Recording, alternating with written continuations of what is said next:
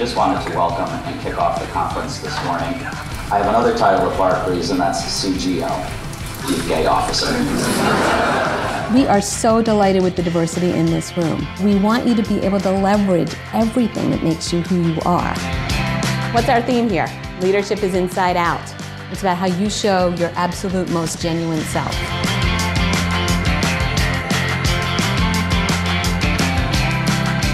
There's this little niggling thing saying, oh God, why do I have to have a personal brand? That sounds terrible. Your personal brand is a synonym for your reputation. Who am I?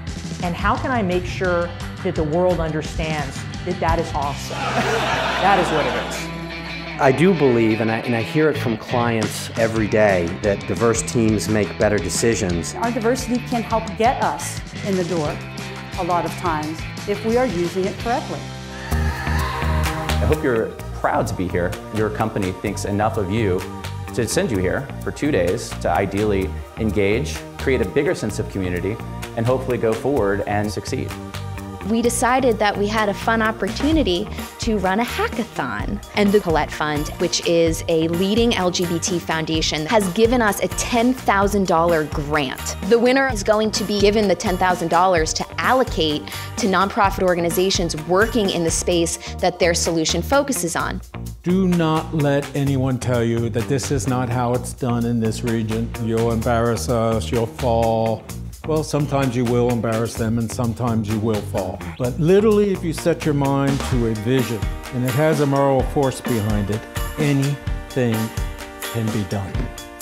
I have the pleasure of introducing Jim Obergefell. Jim was the uh, lead plaintiff in the Supreme Court case that secured marriage equality for everybody in this room. I knew what was happening was simply wrong, and I had to fight to make it right. And it was standing up for the commitments I made to my husband. But it became so much bigger. I don't think anyone ever says to you, hi, I'm your mentor, like, nice to meet you, right?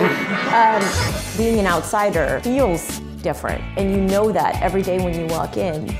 And I think there's this idea that when you get to a certain place with a certain title, it's gonna feel better. And the truth of the matter is, sometimes it feels worse. The process of coming out is the greatest and still the most important thing that we all can do. It's the most profound thing I've ever done.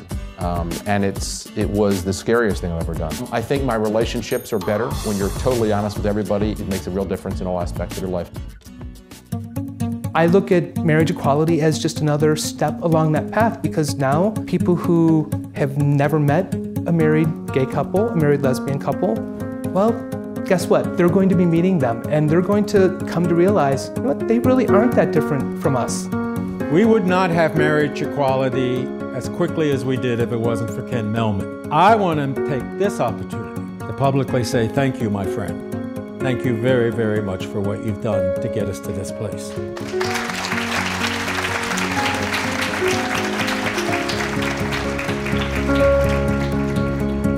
My mother told me of the miracle I was, said I could grow up to be anything I want. I decided to be a boy.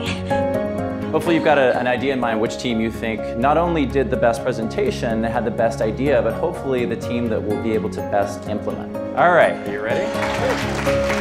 Congratulations about 40 to 50% of homeless youth identify as LGBT. There's a lot of shelters, there's a lot of nonprofit organizations that exist to help these kids. And what we identified as one of the biggest problems is that they just don't know about it. What we could do is really make an awareness campaign. Um, we, we likened it to kind of raising the gay bat signal to say, you know, here's a safe space and here's where you can get information.